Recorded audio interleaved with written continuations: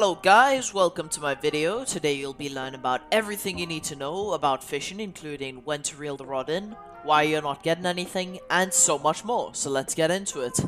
So there are 5 vanilla rods, the first 3 can be crafted, and the fourth one cannot be crafted, this can only be found at campsites. The fifth one is the upgraded rod and is used to catch squid for NPC questline. The first four rods are exactly the same, you get the same fish and it takes just as long to catch with each one. Throw your rod in and make sure the floater doesn't sink. If your floater sinks, recast your rod. When the bubbles appear, wait for 3 pulls. One, two, three, and then reel it in. Just as the thing goes underwater, that's when you must pull up. If you didn't catch anything, you either pulled in too early or too late, which is very hard to do because you're only too late once the fishing rod throws itself up after shaking. You get XP after every catch.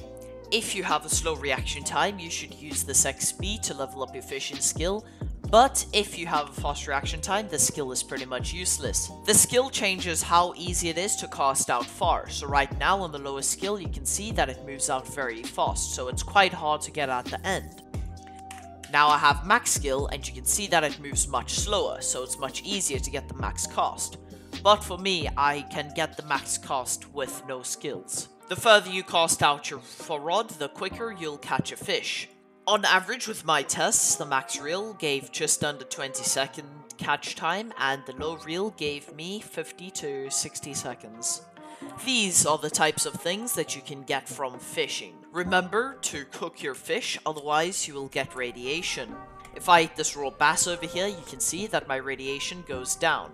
To cook your fish, you need cooking one skill, and you need a heat source, which you can get from either a campfire or if you've watched my electricity guide, a oven. Go to your crafting menu and click on supplies. Over here, you can cook your fish, and now if I eat it, you'll see that I don't get radiation. Trivia time! One interesting thing to note is that the fishing rod line is infinite, so right now I'm in the fishing lounge and I can go all the way to the safe zone and I will still be able to catch a fish. Right now you can see that my inventory is empty, and I still managed to catch a humongous fishy. Another unexpected fact is that you can actually catch fish on land, but you won't be able to see the bubbles. Another interesting fact is that the time it takes to catch a fish is not random, and it is the same every single time. And as we previously mentioned, that time depends on how far you cast out your rod. That was my full fishing guide, I hope you learned something. Have a good day, stay curious, stay fishing, bye.